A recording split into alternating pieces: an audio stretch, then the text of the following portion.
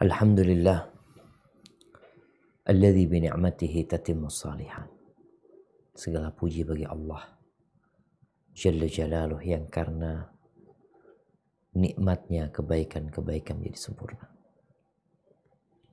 Tatkala kita diselamatkan dari berbagai macam musibah, dibimbing untuk taat dan patuh kepadanya.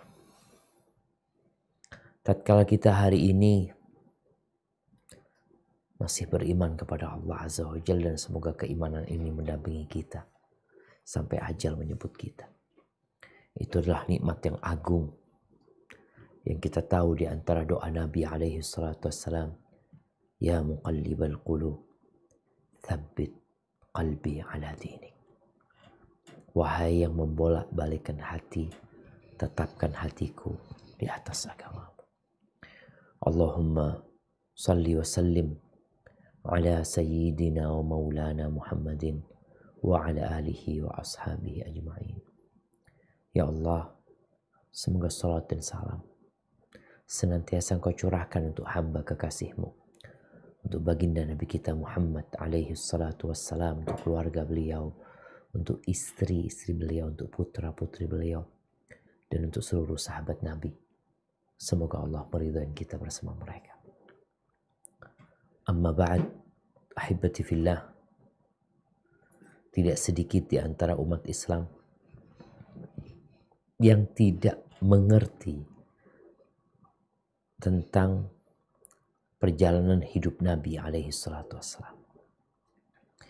Dia juga tidak memahami tentang perjalanan agama Islam ini sehingga sampai ke Indonesia bagaimana perjuangan-perjuangan yang dilewatin ya. Dia tidak tahu dengan peperangan-peperangan Rasul Sallallahu Alaihi Wasallam, bagaimana beliau berusaha untuk mengajak orang-orang kepada Allah, menyelamatkan mereka dari api neraka. Tapi ternyata beliau malah diperangin.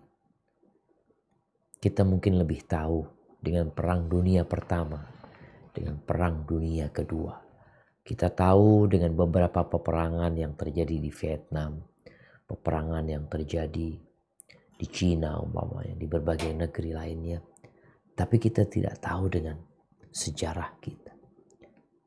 Ada usaha untuk melupakan umat Islam dari kejayaan mereka, dari perjuangan mereka karena sejatinya tatkala kita membaca sejarah, kita akan mendapatkan banyak pelajaran. Kita akan termotivasi untuk terus berjuang, melanjutkan tongkat estafet dakwah ini.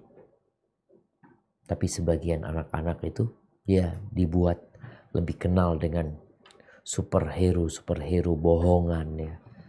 Terus dibuat sama mereka dan ditonton oleh umat Islam. Yang kalau mereka sadar semuanya adalah kebohongan kedustaan yang tidak akan memberikan manfaat kecuali menjauhkan mereka dari agama ini. Maka alhamdulillah kita belajar mengkaji perjalanan hidup Nabi Alaihissalam dan kita sampai kepada peperangan terdahsyat penentu yaitu Fathu Makkah ditaklukkannya kota Mekah